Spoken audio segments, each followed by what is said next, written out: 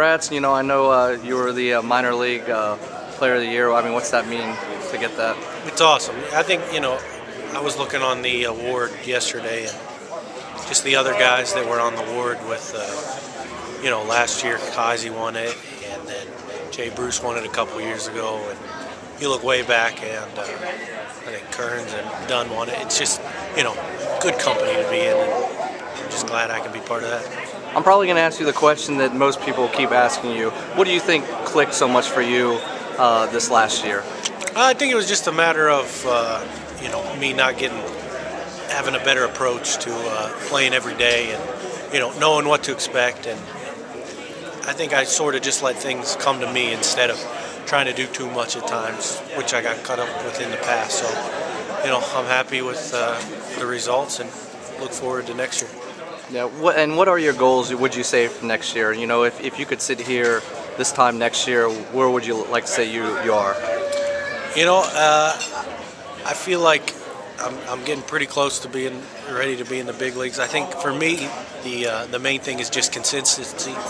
You gotta, it's got to be day every day. You gotta, you know, bring the best you can. And I think you know now it's I can be consistent for a week, but I think uh, next year in the upcoming years, it's got to be a month at a time or, you know, the full season at some point. How hard is it just coming right out of high school, you know, and obviously you're number one pick, so everyone's kind of eyeing, seeing what you're doing a little bit down there. You're playing with older guys, you know, you're kind of maturing uh, as you grow up. How hard is that to, to get that? Yeah, I think, you know, definitely maturity also factored in this season, and it's just something that, uh, you know, it takes time. It's uh, you're not just going to jump in. You know, there's guys that, do jump in and just do well, but for me, you know, it sort of took a while to get my bearings and figure the way things out that I got to approach the game. But you know, once I did, I think things are really starting to show. Uh, you know, how I can play. Yeah. The Reds, you know, have a stacked pitching core, and I mean that that goes deep. That's not just in the majors, but the minors too. Uh, what impresses you? Is there anyone who stands out who or anyone you haven't caught yet to go, wow, I can't wait to catch that guy?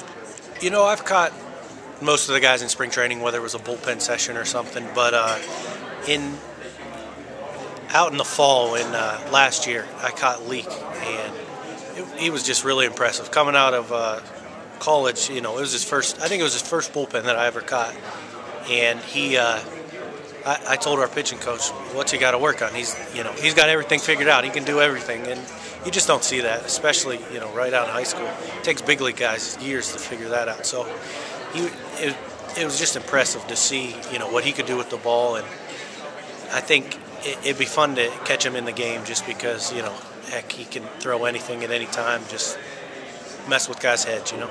Yeah. One more. What's what's catching Chapman like? I mean, is that Oh, it, it's it's wild. He's got, I mean, amazing stuff. It's it's really really challenging to catch. You know, especially a slider. It's really really sharp and you know at 90 miles an hour, which that's where guys throw most of their fastball. So it's uh, it's cool. But you know, I caught him in spring training, and he, he you could tell how much he's improved since then.